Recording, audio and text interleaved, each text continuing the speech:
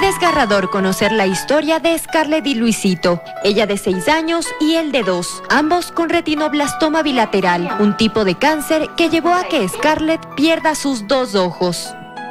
Empezamos a luchar con ella durante tres años, hasta que los tumores crecieron muy rápido y, y taparon la visión, tuvo también desprendimiento de retina, entonces ya fue donde ya los médicos ya no podían seguir dando más tratamiento. Entonces nos dieron la opción ya de que nuclear sus ojitos para mantenerla ya con vida.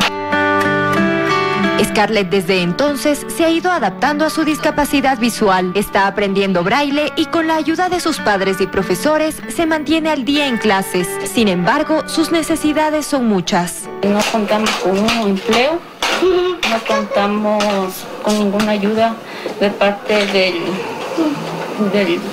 del, gobierno, no recibimos ningún bono. Yo lo que quiero es una compu bien grande para yo aprender. Estas gafas protegen las prótesis oculares que Scarlett debe usar para evitar que su rostro se deforme. Sin embargo, los lentes que debería utilizar son unos especiales para su discapacidad, pero el alto costo que tienen impide que sus padres puedan adquirirlos. No lo consideramos que ella tenga que estar atrás de sus compañeros, sino que ella tiene que demostrarles que ella puede más que, que las personas que tienen visión que sus compañeros, por eso nosotros le damos todo lo que más podemos.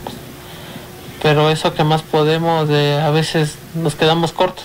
Estamos en lucha con Luisito y lo poco que tenemos se va en el tratamiento de ellos y en medicina que ella también utiliza. Luisito es un pequeño muy activo y juguetón. Él aún mantiene el 90% de su visión. A su corta edad lleva al menos 10 quimioterapias y un sinnúmero de cirugías con la esperanza de detener al tumor que le quitó los ojos a su hermana. Nosotros estamos luchando con todo para que Luisito pueda conservar su visión y sus ojitos.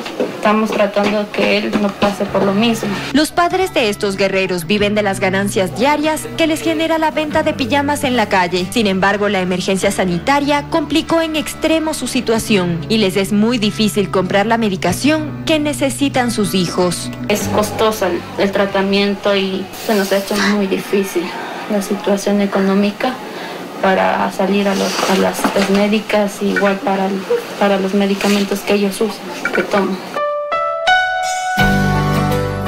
Ahora más que nunca esta familia luchadora necesita de su ayuda. Si usted desea colaborar con ellos, puede llamar al 098-601-5538 o al 096-06-88-376. Ya no tenemos dinero para comprar la comida eh, no tenemos dinero casi para que ellos salgan a sus tratamientos. Em, no tenemos, como decir, las cosas para poderles adaptar. El sueño de Scarlett es convertirse en maestra y poder estudiar música. Está en sus manos apoyar para que esta pequeña luchadora pueda lograrlo. Me están haciendo feliz con sus fuerzas.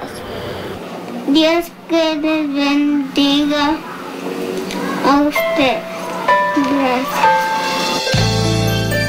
En Quito, Stephanie Paz, 24 horas.